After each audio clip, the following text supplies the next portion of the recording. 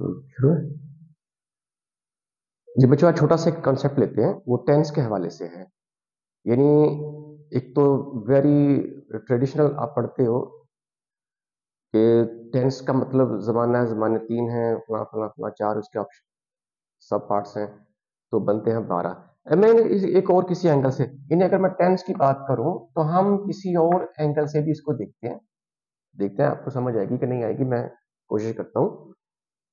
तो हर टेंस यानी कि अगर प्रेजेंट है पास्ट है फ्यूचर है तो इनके चार चार आपके पार्ट्स होते हैं। आप देखते हैं ये सब पार्ट्स इसके क्या है? चार। वो कौन कौन से हैं? नंबर एक पर है। इनडेफिनेट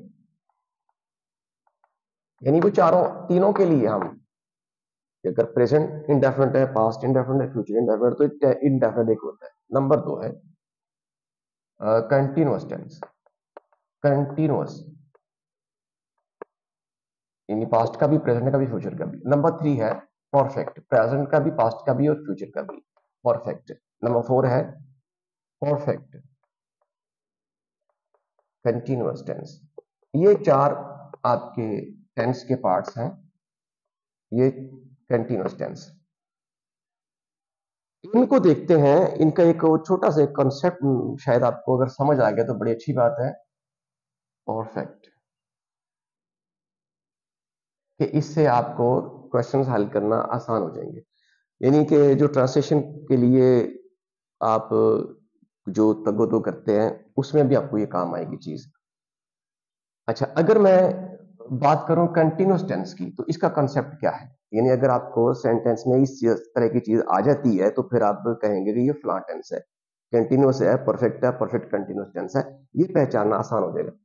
अगर मैं, इसका कंसेप्ट क्या इसका लॉजिक क्या है? कंटिन्यूस का मतलब ये है कि सपोज़ आपके पास एक टाइम लाइन है मैं यहाँ पर प्रेजेंट में हूँ, ये पास्ट आपका, ये आपका फ्यूचर सपोज़ ये आपके पास एक ग्राफ है, मैं इससे, जब मैं बात करूँगा तो प्रेजेंट में करूँगा, ये तो कहने वाली बात नहीं है। जब भी मैं बात करूँगा तो प्रेजेंट में ही बात करूँगा। अगर कंटिन्यूस की बात करता हूँ यानी कि वो पढ़ रहा है ये खेल रहा है, हम जा रहे हैं तो मतलब ये है कि इनके, उनके अंदर जो सेंस बनती है ये बनती है कि आप किसी पॉइंट से पास्ट के पास्ट के किसी पॉइंट से अपने काम शुरू किया और करते करते आप यहाँ तक आ गए प्रेजेंट और यहाँ पर आप रुके नहीं हैं, बल्कि आपने काम जारी रखा। यह कंटिन्यूस टेंस हमेशा पास्ट से शुरू होगा, चाहे वो एक लम्हे के लिए पहले क्यों ना शुरू हुआ हो, अभी से एक लम्हा पहले है तो पास्ट ही। तो पास्ट से शुरू हुआ और प्रेजेंट में आकर अभी भी खत्म नहीं हुआ, जैसे वो सो रहा है। तो इसका मतलब कि शायद जब आप बात करोगे तो उसके बाद भी वो कुछ लम्हे के लिए शायद सोए। तो इनके फ्यूचर तक वो जाएगा, आइंदा के लिए जाएगा वो। तो काम जारी होगा, ये आपका है कंटिन्यूस टेंस जिसमें पास्ट से काम, अब खुद आप देखेंगे जज करेंगे कि पास्ट से काम शुरू हुआ और अभी खत्म नहीं हुआ। ये आपका है कंटिन्यूस टेंस ठीक है जी? ये आपका होगा कंटिन्यूस और परफेक्ट का क्या कंसेप्ट है? इसका ये कंसेप्ट है कि आप, जैसे हमने खाना खा लिया है, हम खा चुके हैं। तो परफेक्ट का मतलब ये है, ये खा चुके थे, ये खाए, खा चुके होंगे। परफेक्ट का कंसेप्ट ये है कि आपने कोई काम पास्ट से शुरू किया ये पास्ट से शुरू किया और आपने प्रेजेंट में आकर काम को खत्म कर दिया, क्योंकि परफेक्शन है इसके अंदर इसके अंदर परफेक्शन है। काम की तकमील है, काम का खत्म होना इससे शो होता है। जैसे मैं पढ़ चुका हूँ, मैंने पढ़ लिया है, उसने खाना खा लिया है, या उस वो खाना खा चुका है तो ये परफेक्शन है इसके अंदर। आज प्रेजेंट में आप अपने काम खत्म कर लिया, अब आगे नहीं चल रहा। ये आपका था। परफेक्ट और नेक्स्ट है परफेक्ट कंटिन्यूस टेंस ये दोनों का ही कॉम्बिनेशन है। यानी इसमें परफेक्शन भी है और कंटिन्यूटी भी है। इनके इसमें एक काम मुकम्मल हुआ है, एक काम मुकम्मल है और फिर जारी भी है। इसका मतलब यह है कि आपने पास्ट से काम शुरू किया और यहाँ तक आगे तो ये हो गया परफेक्ट लेकिन यहाँ तक कुछ आपने ये कहा कि कुछ टाइम हुआ है उसको यहाँ जैसे मैं सुबह से पढ़ रहा हूँ जब मैं बात करूँगा उस वक्त तो, तो मैंने पढ़ लिया लेकिन अभी भी मेरा काम जारी है। काम खत्म नहीं हुआ। काम खत्म नहीं हुआ। लिहाजा मैंने पास्ट शुरू किया प्रेजेंट में आकर मैंने परफेक्शन तो की लेकिन यहाँ तक आके बाद आने के बाद अभी भी मैं इसी कंडीशन में हूँ कि मैं काम को भी किया जा रहा हूँ।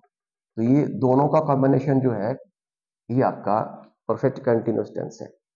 जिसमें काम पास्ट से शुरू होकर प्रेजेंट में आने के बाद भी उसका कुछ हिस्सा बाकी और और काम जारी हो, उसे हम कहते हैं परफेक्ट कंटिन्यूस टेंस अब तीनों को तो आपने डिस्कस अब आ गया है इनडेफिनिट टेंस इनडेफिनिट जब इन तीनों में से किसी की भी इंडिकेशन इसके अंदर ना मिले, कोई इशारा, कोई ऐसा क्लू ना मिले इसके अंदर कि जिससे पता चल चले कंटिन्यूटी है परफेक्शन है, या परफेक्ट कंटिन्यूस है। ना मिले, कोई पता नहीं चल रहा क्या है तो वो आपका है इनडेफिनेट जैसे नाम से इजहार है कि मालूम नहीं, कोई कंफर्मेशन नहीं है इनडेफिनिट है। डेफिनेट का उलट है इनडेफिनेट इसमें कोई आप नहीं कह सकते श्योरिटी के साथ कि भाई ये काम काम खत्म हुआ या जारी है।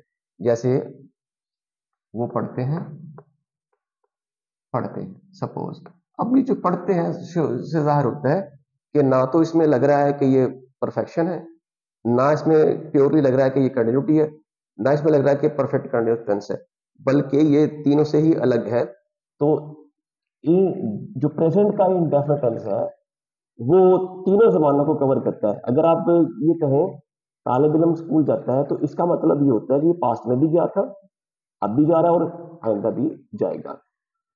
तो ये है, तीनों को कवर करता है लिहाजा, इसीलिए इसकी कोई फिक्सेशन नहीं है। इसलिए हम इसको कहते हैं इनडेफिनिट टेंस जैसे कि आप एग्ज़ाम्पल से इसको प्रूव कर सकते हैं। ये छोटा सा मेरे जहन में आ गया कॉन्सेप्ट कि मैं शायद टेंस को इस तरह से भी आप डील कर सकते हैं तो शायद कुछ चीज़ आपके जहन में रह जाए। तो ये मैं चाह रहा था कि क्लैरिटी हो थोड़ी सी। थैंक यू अल्लाह हाफिज़।